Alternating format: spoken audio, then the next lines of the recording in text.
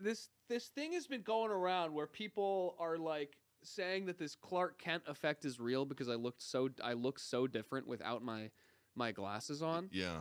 Um, and you know, I this we're a podcast, so I'm gonna make this quick. But I'm just gonna I'm gonna look away. I'm gonna take them off. I'm gonna look back at the screen, and I want to hear your guys' opinions on this. Okay. Okay, so Schlatt, look at Charlie now. Process Shut- him. okay, look at me out. Take it in. All right, close our eyes. Well. Let's close our eyes, Schlatt. Okay, close your eyes. Close your eyes. I'm going to turn around, take them off, put them down. Don't open your eyes. Gonna collect myself.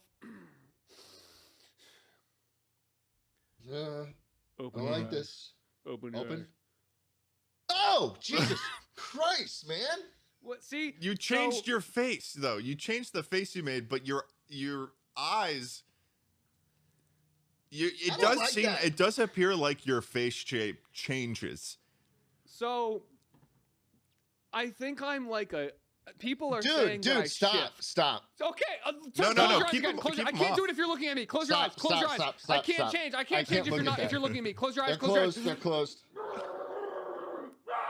Okay. Oh wow, he's back. Hey, what's up, Oh, guys? Charlie, what's Sorry, up, man? It hurt. It hurts to do it a lot in quick succession. Oh, Why So does that guys- happen to you? what'd you guys think? I blacked out for a minute. Why does that happen to your face?